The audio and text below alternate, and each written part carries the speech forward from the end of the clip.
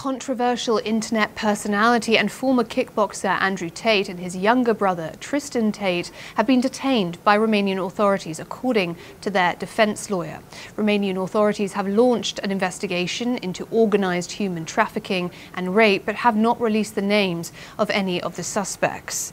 A lawyer for the brothers told CNN that they are not under arrest, but rather being detained by Romanian authorities for 24 hours, and the attorney didn't discuss any of the allegations According to a statement from Romania's Directorate for Investigating Organised Crime and Terrorism released Thursday, police served search warrants at five homes and detained four suspects, including two Brits and two Romanians. The authorities didn't name any of the four suspects, but did release a grainy, sometimes out of focus video of the raids.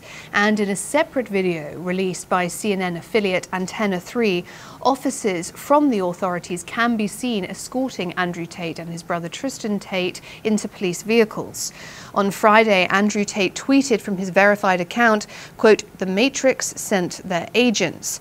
The authorities allege that the four suspects formed an organized criminal group that stretched from Romania to Britain and the United States for the purpose of committing the crime of human trafficking. The authorities allege that two suspects misled the victims into believing that they intended to enter a marriage or a cohabitation arrangement while transporting the victims to Romania and later sexually exploiting them with physical violence and coercion. Authorities also said that a victim was raped on two different occasions in March 2022 by one of the suspects.